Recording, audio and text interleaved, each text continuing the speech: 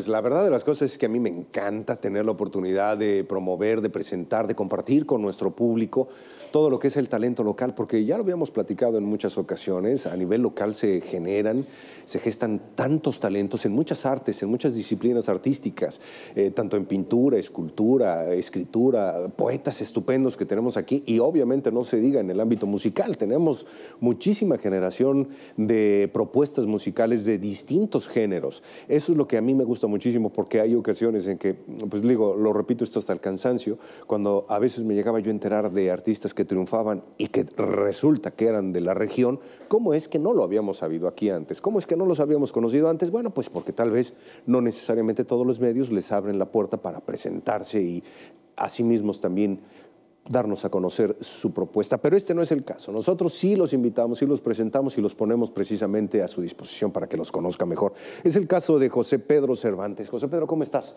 Es un placer recibirte.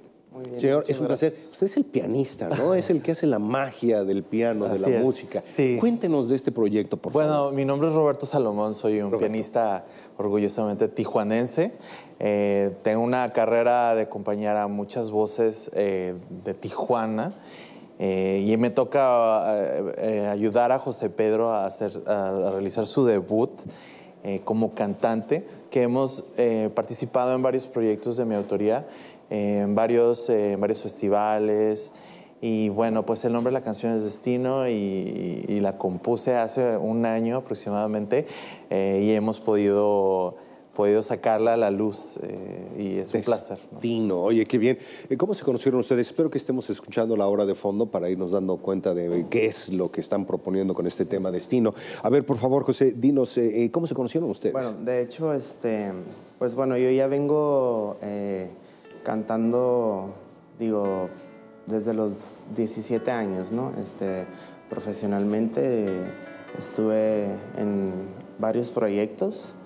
Eh, por un tiempo eh, paré este, un poquito, como que me di un, un pequeño break.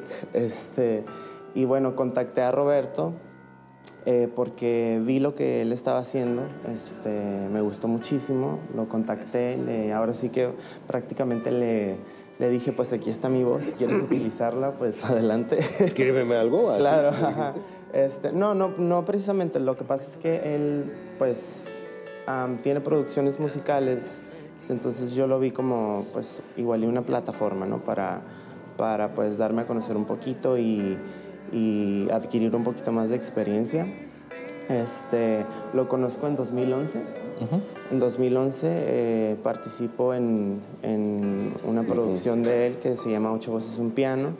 Este, y bueno, ya son que casi tres años de conocernos, pero como él lo comentó hace un año, este, pues me propuso esta canción este, y digo, es una canción que lleva ya un año en, en proceso.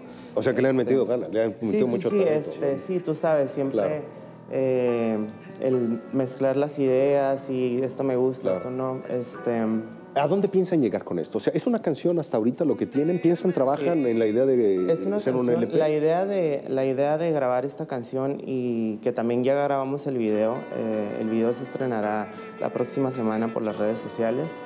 Este, pues simplemente es am, ver la reacción del público, ya que pues nuestra, nuestra idea es en un futuro pues grabar un disco juntos, ¿no? ¿Tienen estudio, Roberto, ustedes? Por donde Bueno, cabe mencionar que esta producción eh, musical y, y de video la realizaron dos jóvenes eh, de 20 años que son talentosísimos que se llaman Alejandro Pacheco y Carlos Leal.